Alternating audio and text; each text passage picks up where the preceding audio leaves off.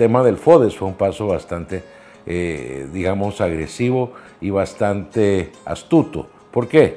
Porque ambos, Arena y el FMLN, tienen que devolver deuda política por la pérdida gigantesca de votos que tuvieron eh, en las recientes elecciones.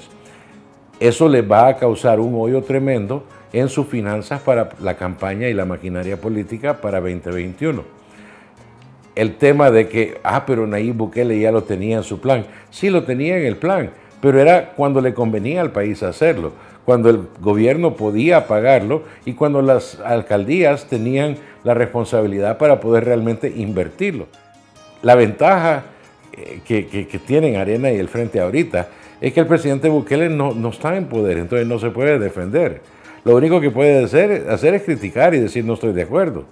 Eh, usted puede criticar la manera en que lo hace en Twitter, pero al final del día es pegarle a alguien que está, está, está en el suelo, pegarle a alguien que tiene los, brazos atados detrás de la espalda, porque él no ahorita no está en ninguna función pública.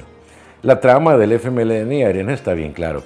Primero, asegurarse los fondos, porque tienen que devolver la deuda política. Eso financia su maquinaria electoral.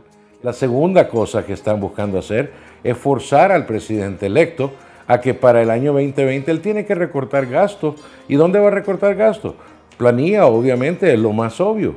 Eh, es, lo, más, eh, donde hay más grasa. ¿Por qué? Porque el FMLN contrató más de 65 mil militantes durante los cinco años recién pasados. Entonces, de repente comienza a sacar gente para pagar el FODES, porque no va a sacrificar medicinas, no va a sacrificar eh, educación, el Señor tiene el sentido común. Entonces, ¿qué va a suceder?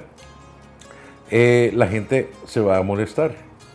Y al molestarse, fortalece el voto de la campaña de Arena y del Frente. Cuando el presidente Nayib Bukele presente eso a la, a la Asamblea Legislativa en el presupuesto, va a ser 100 millones más.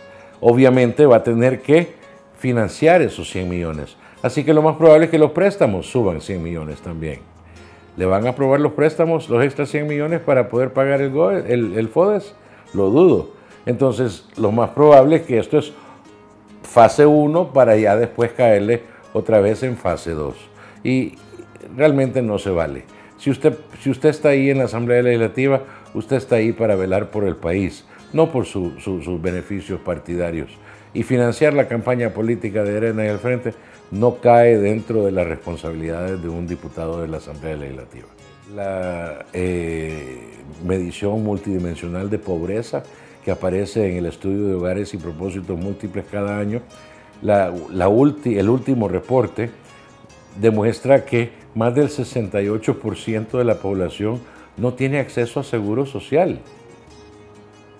Están condenados a trabajar enfermos porque no tienen seguro social. Ahí van niños, ahí van eh, adultos mayores. ¿No cree usted que eso tiene mayor prioridad que darle dinero a alcaldías? ¿O que poner a privados a cargo del ente rector de agua? Yo creo que para mí no hay, no hay debate ahí. Eso prima sobre cualquier otra cosa. ¿A quién representan los diputados? ¿Representan a sus partidos políticos o representan al pueblo? Ahorita estamos viendo una división en Arena porque hay algunos diputados, algunos de los jóvenes que quieren representar al pueblo y su fracción no los deja.